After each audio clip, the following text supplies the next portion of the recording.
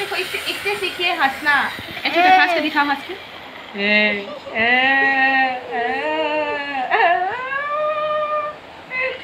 Photo लेने समय बाबू हमेशा हंसता है। नहीं हम उसको हंसाते हैं। आई देखो कैसे हंस रहा है देखो।